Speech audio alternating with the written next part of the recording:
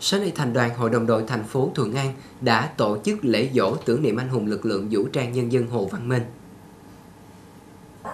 Lễ dỗ tưởng niệm anh hùng lực lượng vũ trang nhân dân Hồ Văn Minh được Thành đoàn Hội đồng đội thành phố Thuận An tổ chức hàng năm là dịp để thế hệ cán bộ đoàn, đội, đội viên, thiếu nhi hôm nay soi rọi lại bản thân, đồng thời ra sức phấn đấu trong học tập, làm việc rèn luyện để trang bị kiến thức, hoàn thiện nhân cách, tu dưỡng phẩm chất đạo đức theo tư tưởng đạo đức phong cách Chủ tịch Hồ Chí Minh, tích cực lao động sáng tạo trên mọi lĩnh vực, đáp ứng yêu cầu nhiệm vụ trong giai đoạn mới, xứng đáng với niềm tin yêu và sự kỳ vọng của Đảng bộ, chính quyền và nhân dân tỉnh Bình Dương, góp phần xây dựng Bình Dương trở thành đô thị văn minh, giàu đẹp và trở thành thành phố thông minh trong tương lai. Dịp này, Thành đoàn Hội đồng đội thành phố Thuận An thực hiện công trình măng non, trao hỗ trợ cho gia đình anh hùng lực lượng vũ trang nhân dân Hồ Văn Minh trị giá 10 triệu đồng đồng thời trao học bổng Hồ Văn Minh cho 40 em học sinh có hoàn cảnh khó khăn vươn lên trong học tập, đạt được các thành tích cao với tổng số tiền gần 30 triệu đồng.